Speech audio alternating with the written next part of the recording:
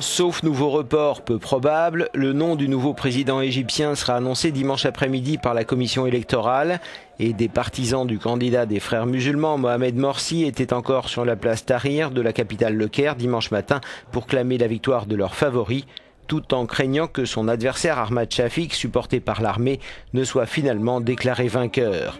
Et les paris sont ouverts dans la presse égyptienne. À travers la dissolution du Parlement et la limitation des pouvoirs du nouveau président, le Conseil suprême des forces armées a entrepris de reprendre la main sur le pays.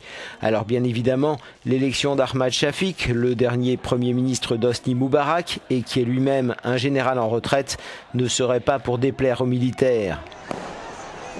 Un tel résultat risquerait toutefois aussi de remettre dans la rue ceux qui ont obtenu hier la chute du régime Moubarak et qui ne veulent pas voir leur révolution confisquée.